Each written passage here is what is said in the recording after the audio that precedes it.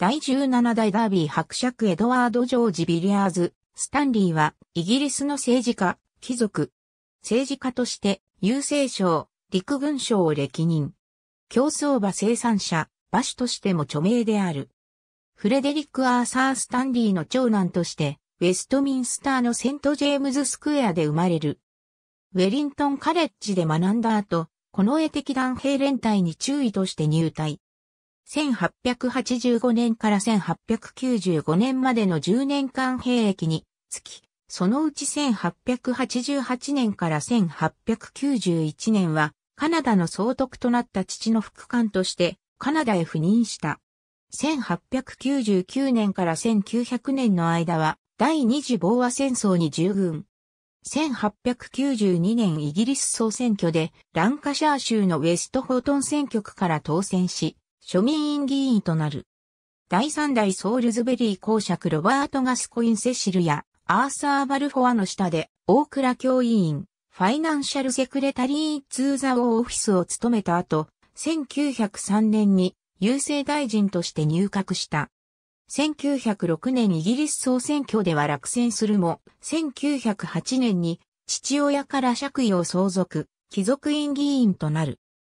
第一次世界大戦中の挙国一致内閣では1916年に陸軍省政務次官後空軍委員会議長に任ぜられたが、同年ガリポリの戦いの作戦失敗等により、ハーバート・ヘンリー・アスキス首相が失脚。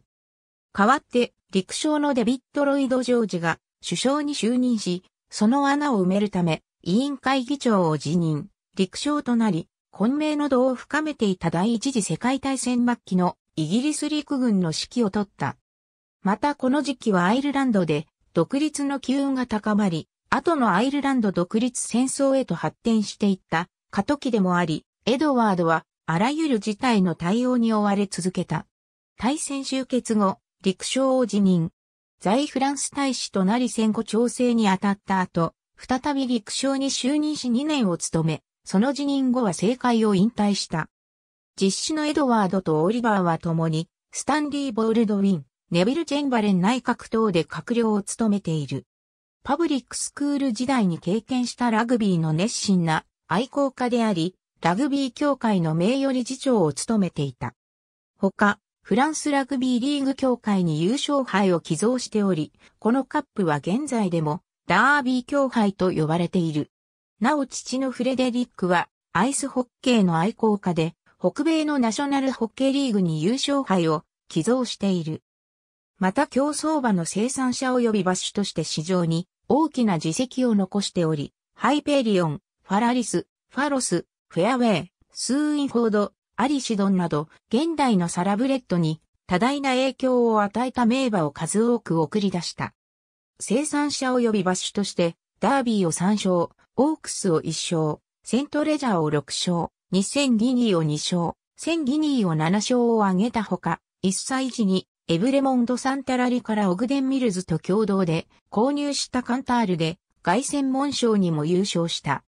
彼の馬の購入や調教については、ジョージ・ラムトンが初期の配合デザインにはウォルター・オルストンが関わっており、生産に際してはフィッツラックの18.75%理論と呼ばれる血統論を用いたとも、先生術によったとも言われるが定かではない。1930年にはダービー伯爵として史上初めてアメリカのケンタッキーダービーを現地観戦し、タイムの表紙を飾った。ありがとうございます。